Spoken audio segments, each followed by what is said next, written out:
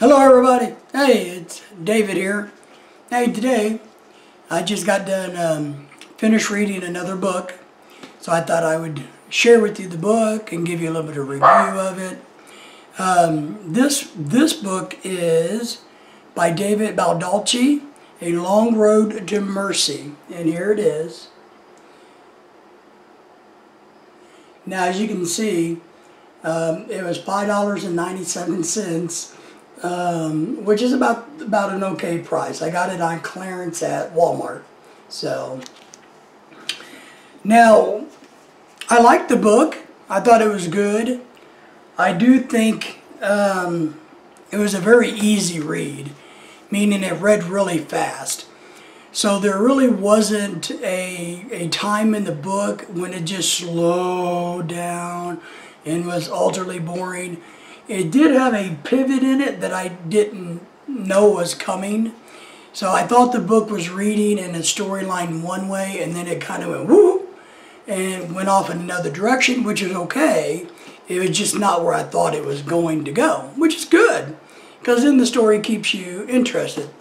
Now, looking in the jacket of the book, apparently there's a whole series of these books by him.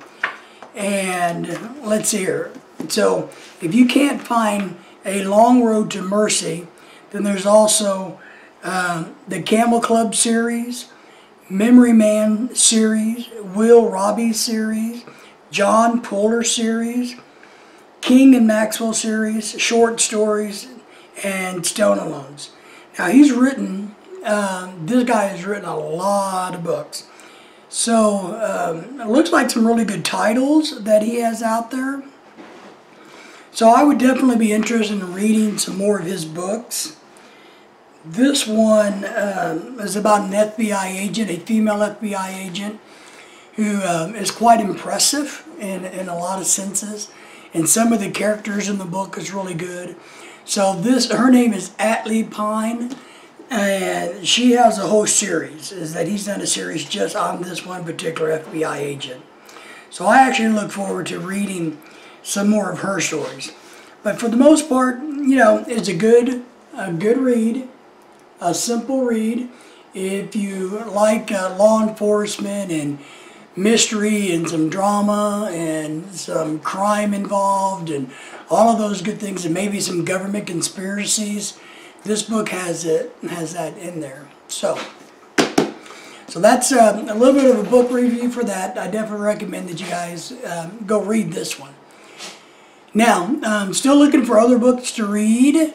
If you have any suggestions or thoughts on books that uh, you would recommend, I would be happily to you know do some search on those and and see if it's up my alley and if I would like to read those. I am going to try to go to one of the big bookstores um, here soon and see if I can't go through the clearance items and to see what I can find. I'm also going to be looking for maybe some history books on the Philippines for, for all of my, my, uh, my friends out there in the Philippines. So I haven't read too much about the history there. I know a little bit about it, but I want to read more about it. So I'm going to be looking for that. But uh, we'll go to the bookstore and see what else we can get on clearance. I'm not a big fan of paying, paying full price for books. So, all right, guys, that's it.